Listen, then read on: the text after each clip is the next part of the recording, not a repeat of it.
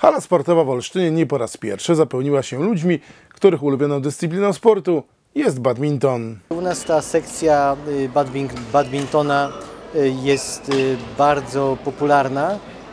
Wiele osób tu grywa. No, Mieliśmy również możliwość goszczenia choćby zawodników włókniarza, którzy tutaj e, szlifowali swoją kondycję, również grając w badmintona, ale to wszystko właśnie dzięki sekcji badmintona, która działa prężnie w Olsztynie. Tym razem dzięki staraniom UKS Lotka w Olsztynie zostały zorganizowane Mistrzostwa Polski do lat 15.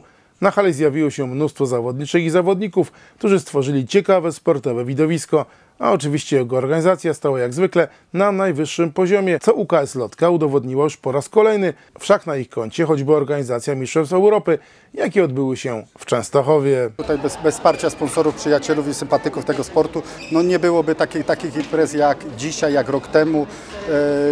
E, mogę z tego miejsca tylko podziękować tym firmom, które, które nam pomagają. Jest to, jest to naprawdę dla nas bardzo duża pomoc. Zawodników jest ponad 120. E, gramy w e, pięciu kategoriach, e, w pięciu, w pięciu e, kategoriach. Czyli po, począwszy od singla męskiego, singiel damski, mixed i gry podwójne damska i męska. Tutaj już też gra w U15 jest na wysokim naprawdę poziomie. Jest to, jest to zalążek do, do przyszłych tam e, zawodników elity.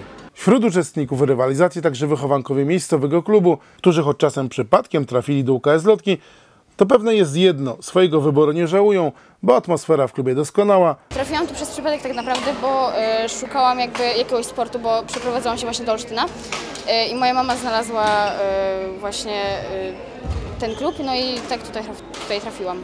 Tak, jestem zadowolona, trenerzy bardzo dbają o nas, jakby dopilnowują, żebyśmy jak najbardziej dawali z siebie wszystko. Jest dobrze. Samorządowcy z Jereskiego Olsztyna już dziś po Mistrzostwach Polski w badmintonie zapraszają na kolejne wydarzenia sportowe i kulturalne. Zapraszaliśmy właśnie do Olsztyna uczestników Mistrzostw Polski, aby odwiedzili nas również podczas otwarcia ruin zamku we wrześniu, po gruntownym remoncie, żeby odwiedzili nas podczas Mistrzostw Polski w balonach, żeby odwiedzili nas podczas festiwalu sztuki i wina, więc jest to znakomita okazja właśnie do zaproszenia nowych gości do Olsztyna.